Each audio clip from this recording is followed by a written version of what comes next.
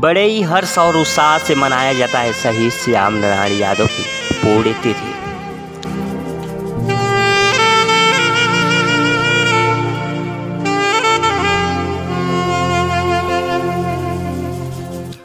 चार अगस्त को जम्मू कश्मीर की राजधानी श्रीनगर के कुपवाड़ा में आतंकवादियों से मुठभेड़ के दौरान शहीद हुए थे श्याम नारायण यादव।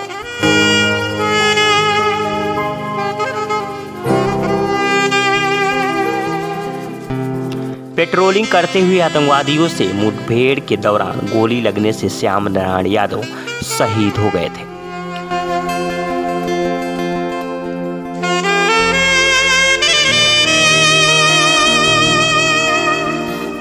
मूल रूप से शहीद श्याम नारायण यादव गोरखपुर जिला, झंगहा थाना क्षेत्र अंतर्गत गोपालपुर के निवासी थे।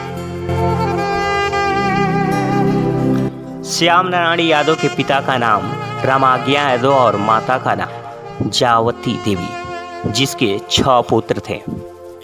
तीसरा नंबर श्याम नारायण यादव थे, जो कि सन 2002 में भर्ती हुए थे, जिनकी पूरे तिथि 4 अगस्त को मनाया जाता है और जिनकी प्रतिमा गोबरौड़ चौराहे पर स्थापित हुई है।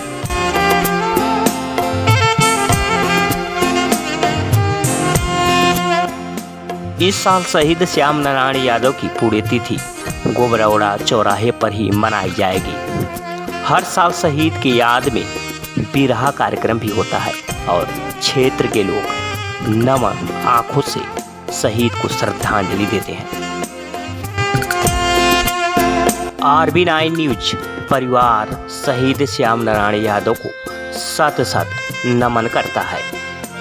Bureau report, Gorakhpur, Uttar Pradesh.